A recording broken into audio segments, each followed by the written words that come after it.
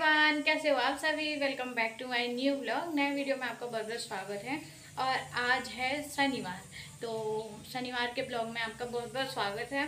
कैसे हो आप लोग मुझे कमेंट करके बताइएगा ज़रूर। और अभी सुबह के बज रहे हैं नौ, घर का सारा काम फिनिश हो गया था देन नहा ली हूँ। उसके बाद दाल चावल भी मैंने बना लिया है। अब भोग लगाने के लिए जा रही थी निकालने दैन सब्ज़ी छोंकने। और आज बनेगा लौकी का पकौड़ी, क्योंकि ना एक पतली सी लौकी आई थी तो बाबा ने बोला पकौड़ी अच्छा होगा, क्योंकि पतली वाली लौकी का ना पकौड़ी बहुत अच्छा होता है।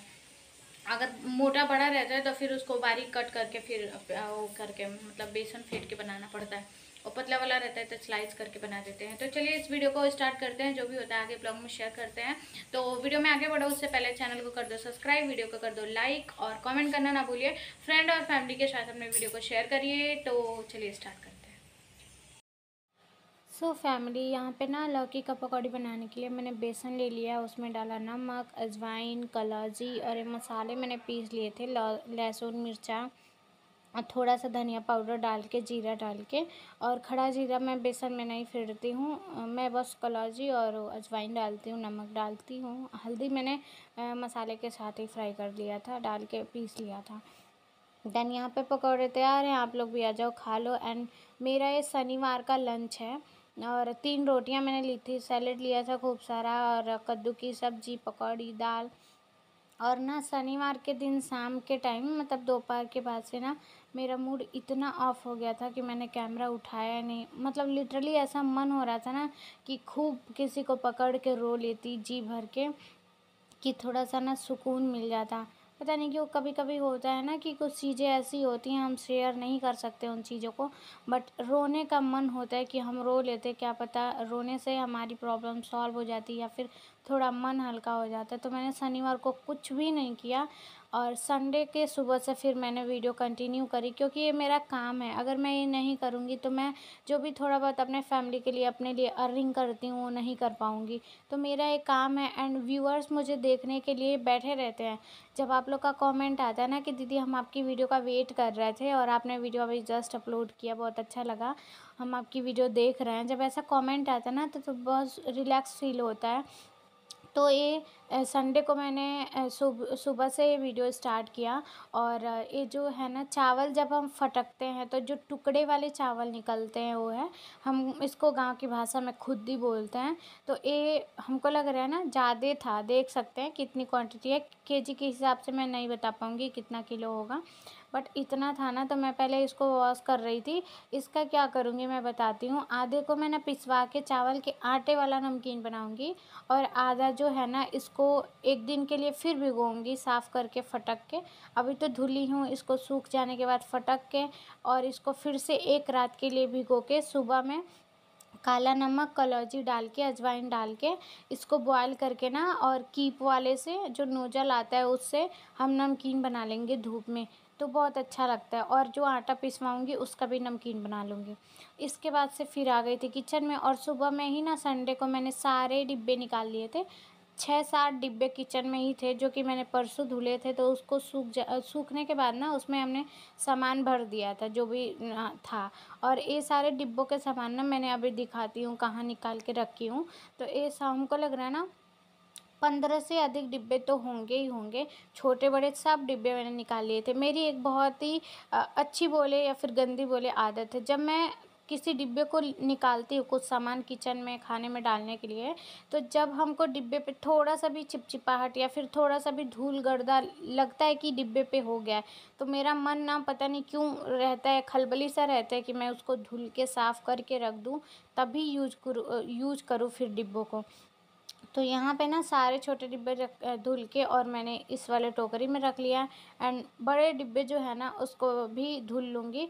तो बड़े डिब्बों में मैं जो ज़्यादा क्वांटिटी में सामान आता है, उसको रखती हूँ। एंड छोटे डिब्बों में मैं मसाले, नमक, जो काला नमक, सेंधा नमक छोटे छोटे जो थोड़े थोड़े मसाले होते हैं ना, उसको मैं रखती हूँ। बाहर मैंने सुबह में ही चना डाल दिया था, क्योंकि खड़े चने इतने ही थे। तो मैंने इसमें, इसको धूप दिखा दिया।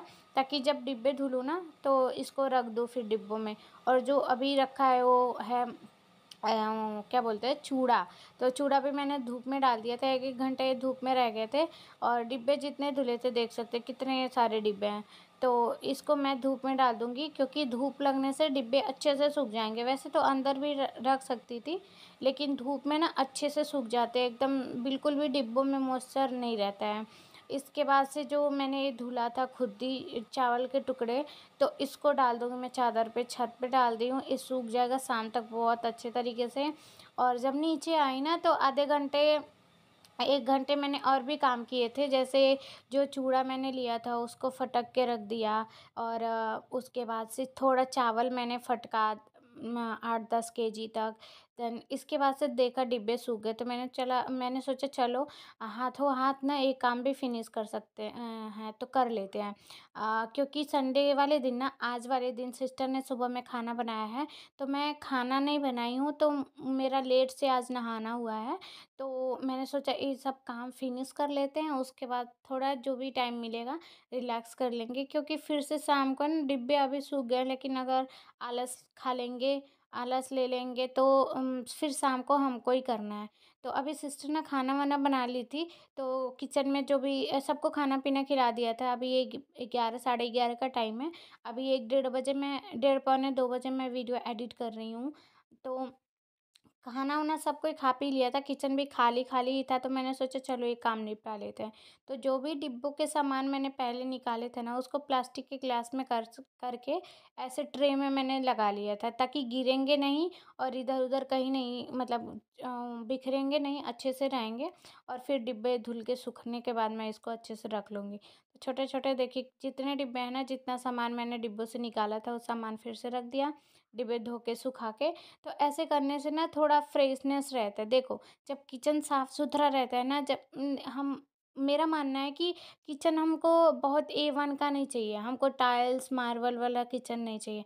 अगर हमारा किचन छोटा ही है, मैं मतलब मिडिल क्लास फैमिली के लिए बात कर रही हूँ अगर हमारा किचन छोटा ही है और उसको हम इतना क्लीन रखते हैं ना, नीट एंड क्लीन रखते हैं तो पॉजिटिव वाइब्स आती हैं।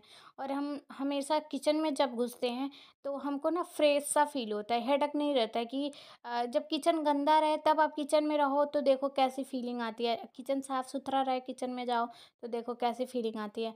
तो हमेशा ना जैसे साफ़ सुथरा इसलिए आदमी रहता है, करता है चीज़ों को अपने घर को, किचन को, कि सकारात्मकता बनी रहे। जैसे जो निगेटिव वाइब्स है ना गंदगी के कारण हमेशा रहती ही रहती हैं। कभी देखना गंदगी में रहो तो मन भारी सा रहता है।